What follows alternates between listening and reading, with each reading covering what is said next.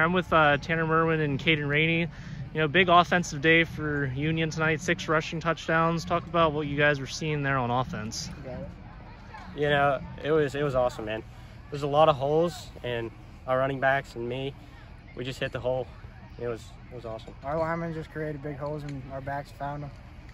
Uh, talk about that catch down there. It was like late in the second quarter. Caden was really covered pretty well by Curwensville, but you somehow threaded the needle there, and he came down with an amazing catch there.